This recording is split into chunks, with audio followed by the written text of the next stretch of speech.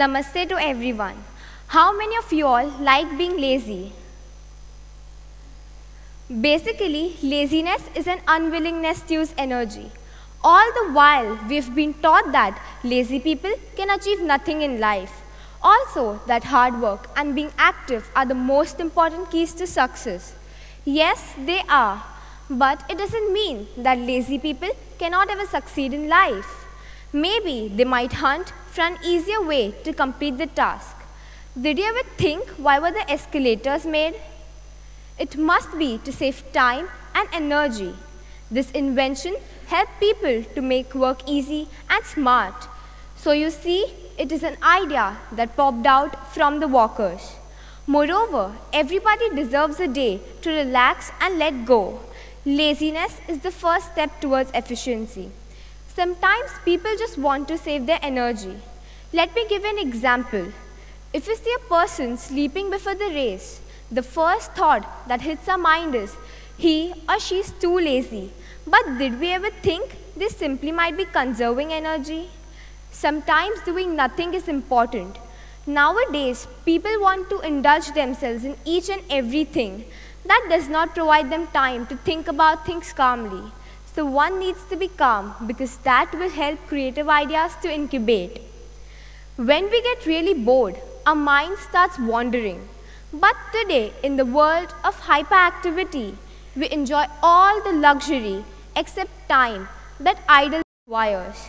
To lace is to reconnect with others and not accomplish any great purposes. And that's the point to have no apparent point. Leave the stress baggage at the door and relax. Being lazy is just as creative as other art, to love ourselves.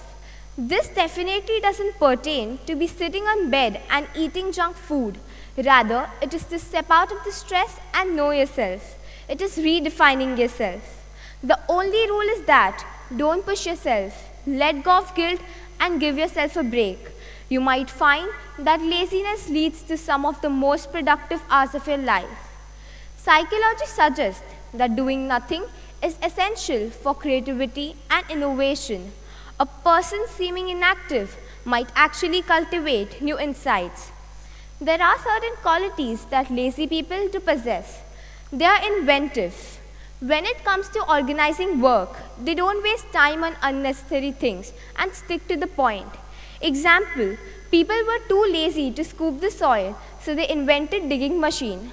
Also, instead of cleaning manually, they invented vacuum cleaner. Who knows, maybe the lazy ones were behind all the great inventions. They know when to rest. The most important is to know when to take break from your daily schedule. They are more relaxed. They don't rush everything and don't jump from one thing to other. Also, lazy ones have fewer worries and can calmly handle their job. They know their goals. They know how to focus on their goals on their goals and move at their own pace. Creative laziness doesn't describe mastering your time. It implies to be planned and not rushed, causing sense of dissatisfaction. We need to allow ourselves to have daily stopping points. Laziness can be a strong motivation too.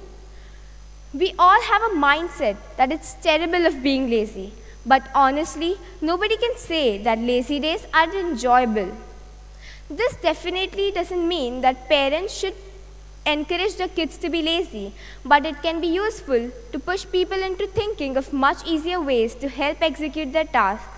The subconscious mind sends the signal of lack of interest or tiredness when we want to escape the problems in our life. We feel mentally or emotionally drained off. Moreover, these, these signals impact our mood too. To conclude, laziness is not as terrible as people think. An author once quoted, laziness is a sickness to success.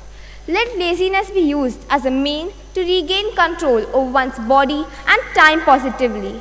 Remember, it's not always bad being lazy. Thank you.